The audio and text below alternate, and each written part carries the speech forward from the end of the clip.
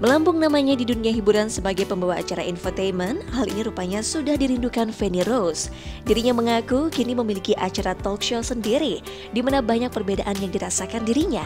Fanny berharap kehadirannya dengan acara talk show yang dikemas begitu menarik bisa diterima dengan baik oleh masyarakat Indonesia yang sudah terlanjur mengenalnya sebagai presenter acara gosip.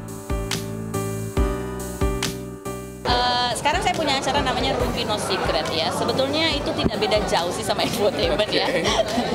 Karena uh, malah lebih mungkin lebih ada ada tambahnya adalah saya bisa mewawancarai langsung gitu datang orangnya bahkan ada dramanya juga gitu di di acara saya.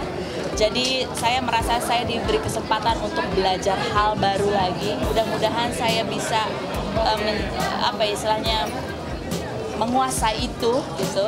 Mudah-mudahan bisa melekat juga di benak benak pemirsa. Pemirsa bisa terima uh, sesuatu yang baru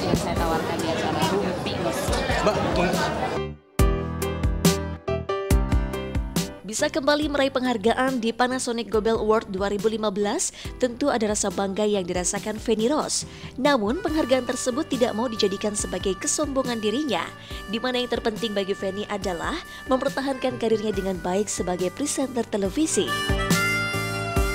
Uh, saya rasa saya gini ya, uh, kalau penghargaan ini sebuah bonus gitu ya, sebuah penanda apakah saya sudah menancap di benak pemirsa. Gitu. Tapi untuk bisa terus bertahan itu kan tidak cukup hanya sampai setelah saya menerima penghargaan.